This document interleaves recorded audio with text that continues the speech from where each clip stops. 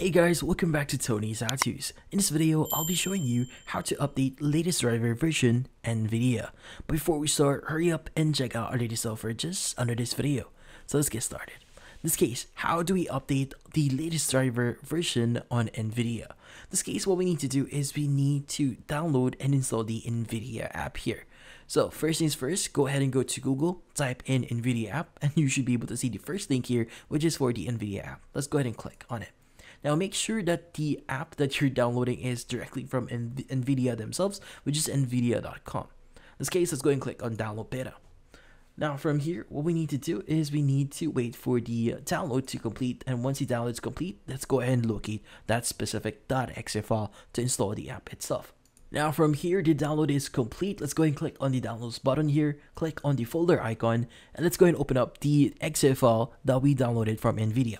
Now from here, let's go ahead and click on yes to proceed with the installation.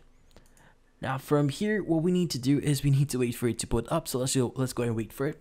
Now in this case, it's now going to show you some information here as well as, as a link to the license agreement and NVIDIA privacy policy. In this case, you could go ahead and read that, but for now, let's go and click on agree and continue. Now from here, it's going to start installing the app itself. So this might take a few seconds or a few minutes depending on the speed of your PC. In this case, let's just wait for it. Now once it's actually installed, you should be able to see the option that says select preferred driver. In this case, you have two options, game ready driver and the NVIDIA Studio driver In this case, if you're a creator, like for example, you mainly use your graphics driver for editing videos, you could choose the NVIDIA Studio driver here.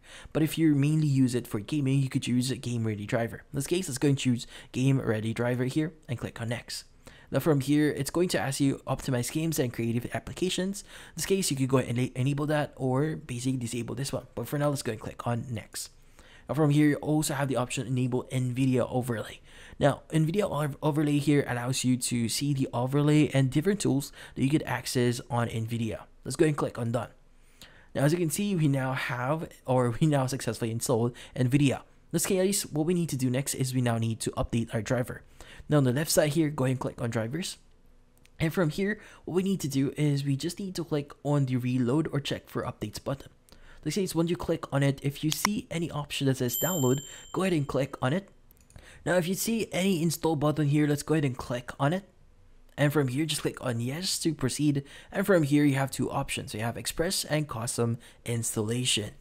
Now, if you choose express installation here, it will retain the uh, the uh, uh, suggested options or settings when you're actually updating or when you're actually updating your driver here. If you choose custom installation here, you could choose what is being installed on your PC.